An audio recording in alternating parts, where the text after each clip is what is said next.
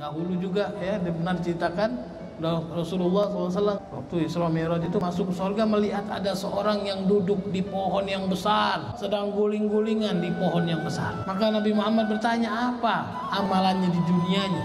Maka maka Jibril menjawab ya amalan di dunianya dulu dia pernah ya menggeser pohon kayu yang besar tumbang di jalan dia ambil dia angkat sedikit demi sedikit kayu tersebut dia pikir apa? Kayu ini menghalangi orang lain yang berjalan.